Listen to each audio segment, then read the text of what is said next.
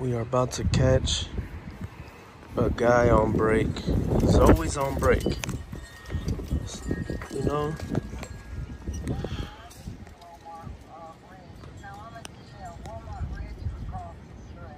Okay. So you're wanting to go down 34th Street. This guy's always on break.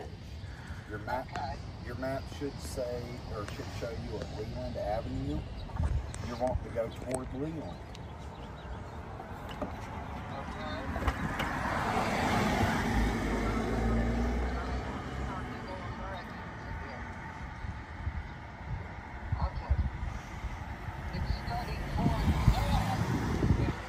Yeah.